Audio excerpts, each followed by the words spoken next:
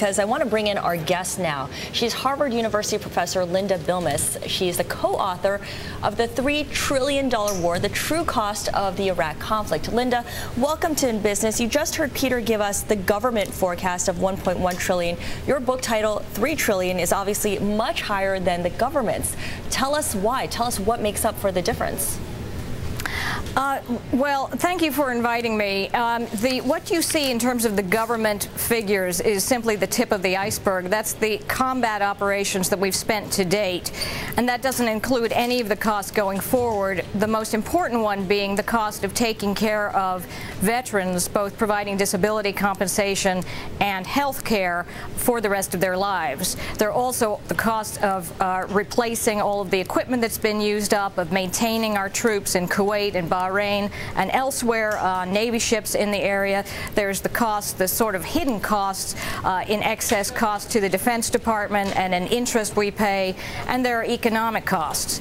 Uh, when you add on these costs, which we have already committed to, you very easily get to three trillion.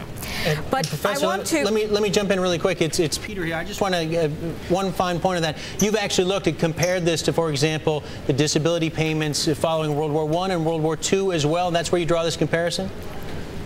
Uh, well, we've done two things. First of all, it's important to understand that combat costs go on for a very long time. After World War I, the disability compensation costs did not peak until 1969. And after World War II, those disability costs did not peak until the mid-1980s. And they're still going up for the Gulf War and for the Vietnam War. So we can expect that these costs will not peak for another 30 to 40 years.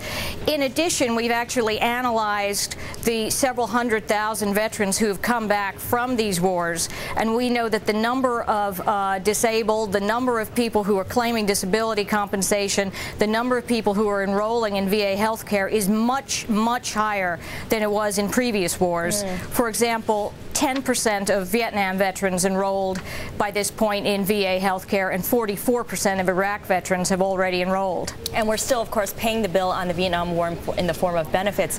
Professor, what about the army of contractors that the U.S. has employed in the Iraq War? A lot of operations have been outsourced to private contractors and private companies. What about the costs there?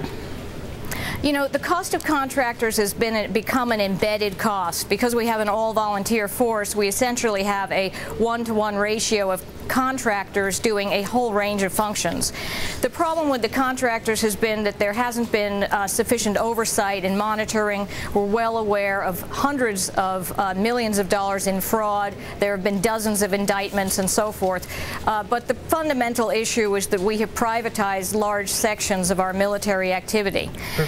If I can just come back, though, to Peter's comment on the cost, I think that Americans are well aware of some of the long-term costs, for example, taking care of veterans, but the real question here are the opportunity costs. The real question is, what would the world have looked like if we had not gone into Iraq in the first place? Would the debt be so high? Would the economic crisis have been so severe? Would oil prices be so high? Would we be stuck in Afghanistan?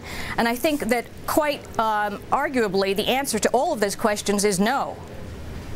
All right, we thank you for your thoughts, Professor Linda Bilmes uh, of Harvard Kennedy School in Cambridge.